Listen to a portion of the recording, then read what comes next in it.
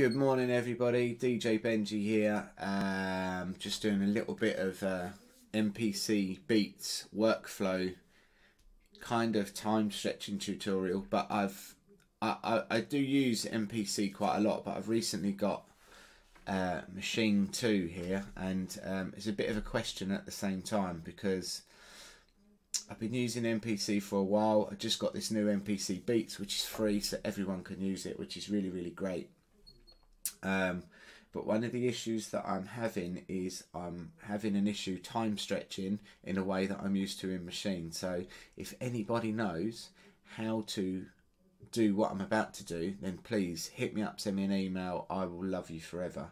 I've only had it, well, I got it on Thursday, I think. Yeah, Thursday morning or Wednesday or whenever it was. But anyway, um, let's get into what we're trying to do. So the way Maschine organizes your library and everything is fantastic and the way that you can browse through your sounds and everything is really really cool. I like that. Um, mpc is a similar thing but they're just different. But the way you can audition your kits and everything in Maschine i really really like that. That's a real real positive.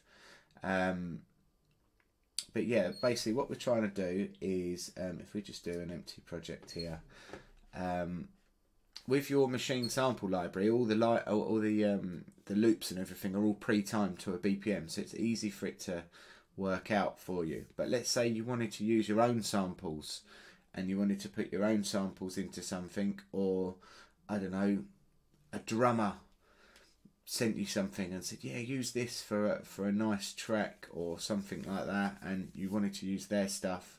Um, now, what I'm using here is going to be samples from breakbeats that I've cut up. So this is only for educational purposes, my education more than anyone's really.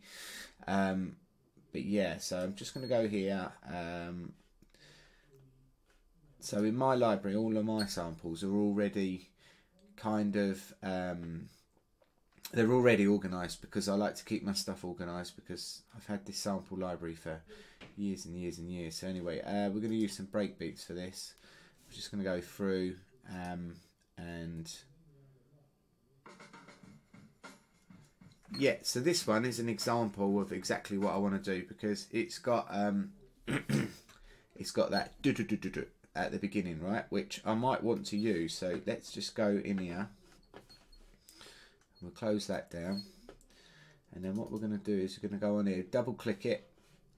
And first thing is look if we zoom in so all I'm doing is just literally clicking on the mouse up there and then on Maschine it's down here isn't it? It's it's the opposite way around.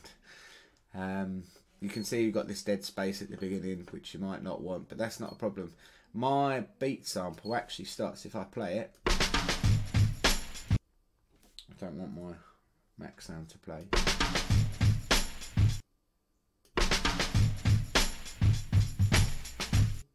You can see that it's um, starts from about here. So I'm going to turn my, excuse me, zero snap on. And then what I'm going to do is I'm going to zoom out.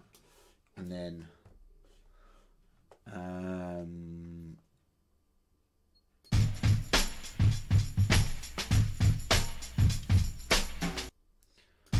two, three, four, two, two, three, four. Lovely.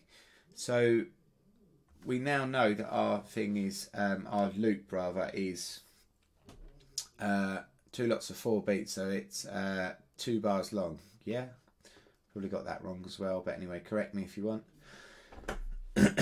um, and it says in our tempo that it's eighty-eight point eight five. That's not always correct when you're using your own loops. Okay. Um, and that's not just this software that's all softwares throughout eternity right? So anyway this is the bit that we want. So all we're going to do is we're going to extract that. And in Maschine, you'd use the truncate function right? Once you've made your selection and it's all tight and you've got what you want. Um, so we're going to go to extract and then that will pull that out. And then here it will create a new sample which I quite like as well because then you still got the original because if I wanted to use this first bit here let's say I wanted to just get the do do do do bit up to there, I've now got that as well. So when I'm actually chopping my beats and stuff, I've got like a little beat feel, which is cool, but we're not going to use that for this example. I just want to do this here. And then what we're going to do is we're going to go right click and then we're going to go add to current audio track. Okay. So now if we go to this um, track view, you can see it's put our edited sample in here. So you can see my host tempo was 120 um, and it recognised that at 88 yes it's going to be way off you'll be able to see that um, so if I again click here and just um, if I make my foot three bars long then you'll be able to see what I'm on about right? And if I zoom along you can see that the the end of the sample is not quite right okay? So if I zoom in a little bit I'm just going to zoom along with the mouse and you can also use these to bring your waveform so you can see it a little bit more. Now all I'm doing here is just holding the command key and you see my icon has changed and all I'm going to do you can change your um, time correction off to do this. And then you can see you can just move it around freely and then put it in there. Or if you want your time correction on obviously you can snap it to whichever value that you you choose there yeah? So that's it. So now if I make this two bars long it gives me a little counting but if I play if I turn my metronome on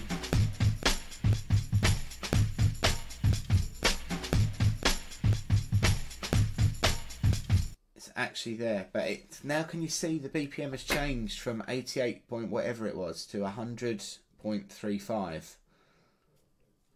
So that's my question. How do you do that in Maschine? Please, somebody. All I want to do, like I said, just if I I know how to do like changing the length of scenes and stuff like that and but like just literally command and then just move that around freely. That's just so easy. You can do it in FL Studio, you can do it in Logic, you can do it in Ableton. How do you do it in Maschine? Please, somebody help me do that. Because now I've got my warp mode on, I can just play around with this, I can make it that, that, and then it'll slow down. Oh, hang on. If I play that now.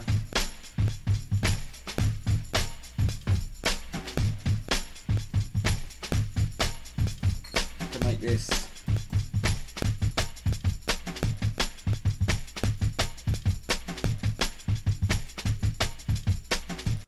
can see that it, it's kept the tempo. If I don't want to keep the tempo, obviously you turn warp off and then it'll keep the um, the original tempo. So now it's it'll be completely off. Ready? See how it's not looping correctly. Anyway, somebody please help me with my machine. Jason Snell, I'm looking at you, bro, because you was the person that solely convinced me to get a machine saying how fantastic it was. And I went out and bought one, and I am really, really happy with it. It is great, especially you know how all the hardware integrates with the software and everything. Um, but something like this is something that I do all the time, and it's just it's frustrating me a little bit. So please help me. Anyway, thank you very much, everyone. Um, take care. See you all later. Um, I'm gonna go wake up now because it's 9:30 and do some prop stuff. Take care. See you all later. Bye bye.